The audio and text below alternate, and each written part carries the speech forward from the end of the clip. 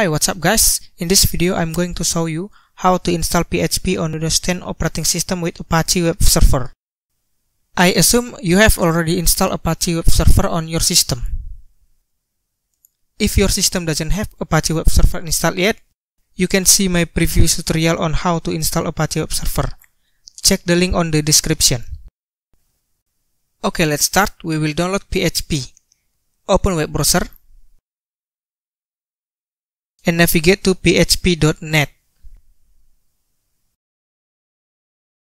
Go to download page.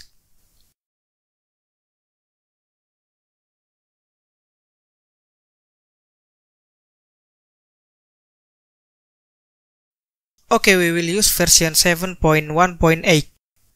This is current stable release of PHP at this time. We want to download PHP for Windows, so click on Windows Download. This binary is available in x86 architecture and x64 architecture with thread safe and non-thread safe binaries. Thread safe is used for single process web server, like Apache with ModPHP. Non-thread safe is used for IIS and other FastCGI web server, or Apache with ModFastCGI. These binaries require VC14. If you follow instruction on my previous video, you don't need to install this because you have already installed VC15, which is backward compatible to VC14. That means VC14 module can be used inside VC15 binaries. If you have not installed it yet, you have to install it first. I recommend to install VC15 instead of VC14 because VC15 has improvement over VC14. I've been providing the download link for VC15 in the description. Okay, I assume you have already have installed it. I'm gonna go with 64 thread safe binaries. I'm download the zip file.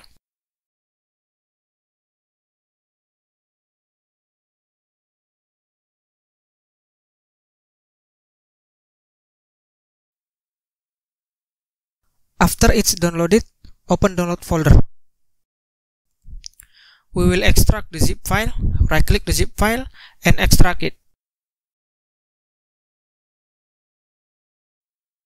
Now we have folder called php version win32 vc version architecture. We will change this folder name to php right click on this folder and click rename and change to php move this folder to C drive, right click, click cut, and go to this PC, open C drive, and paste it here.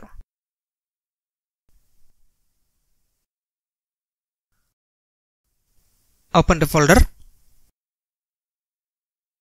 We need configuration file of the PHP called php.ini we can use php.ini-development or php.ini-production. This is sample configuration file for development and this is sample configuration file for production. We will use php.ini-development. So rename it to php.ini.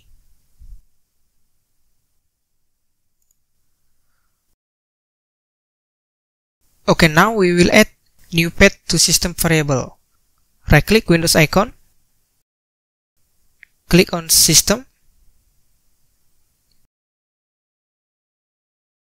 Click on system info. And click advanced system setting. On the advanced tab, click environment variables. Okay, we will edit path variable in system variables.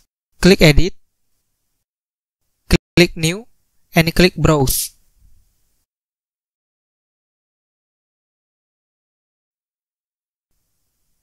Go to C drive and select PHP folder.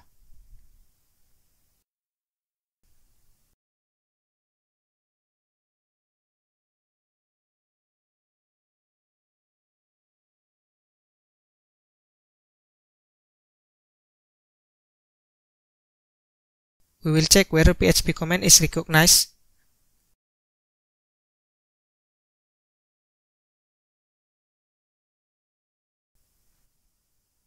Go to command prompt and type php space dash version.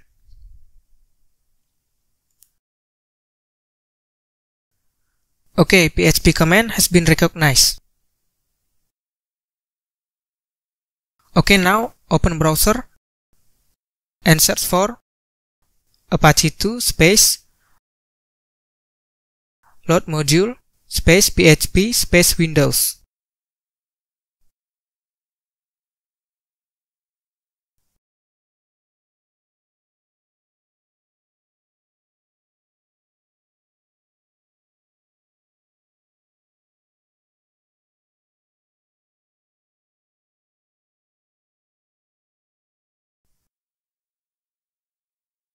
Okay, scroll down here.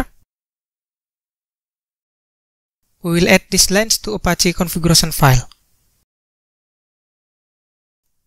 We want to add PHP module to be loaded by Apache. Copy this line.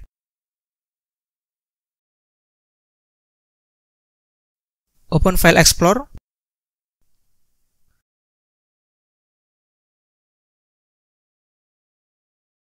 Go to Apache folder on C drive open conf folder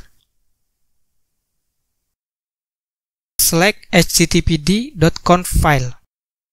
This is configuration file of Apache web server. We will edit this file. Right click and click open with. Select notepad and click OK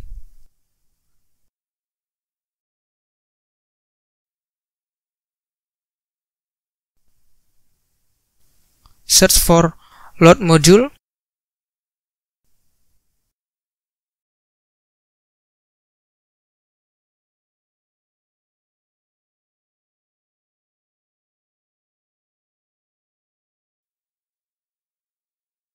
and put the line here.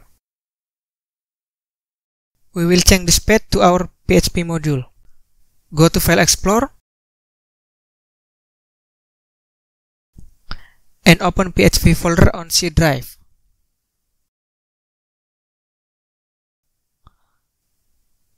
Okay, this is our Apache module for PHP. Copy this name.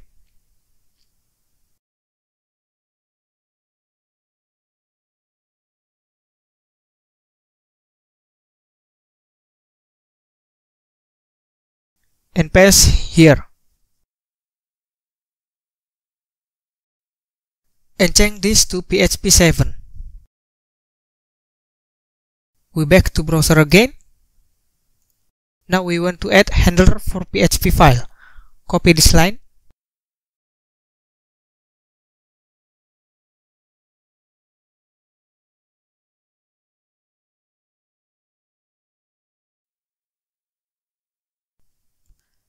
and put it on the last row.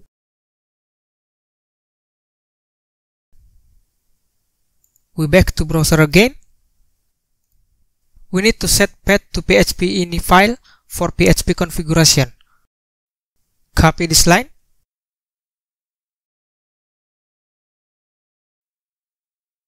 And put it here.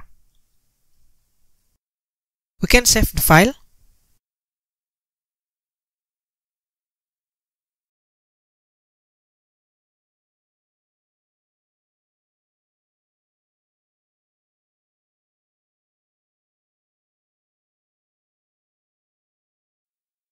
we need to restart Apache service. Every time we make change to Apache configuration file, we need to restart Apache service to load new configuration.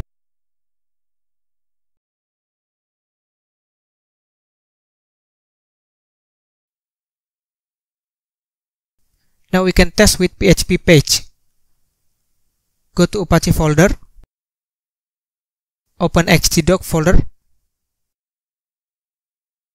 and let's create a new file here right click select new Click text document.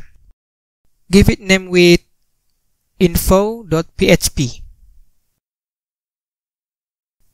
We will edit this file. Right click and click open with. Select Notepad.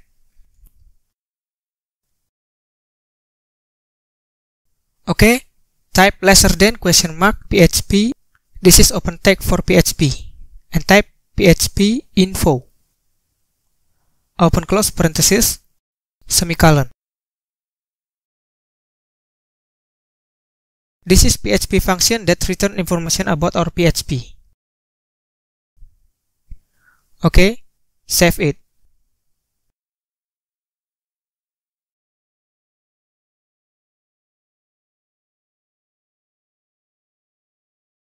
Open web browser and navigate to localhost slash info.php.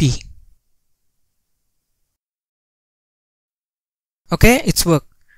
Thanks for watching.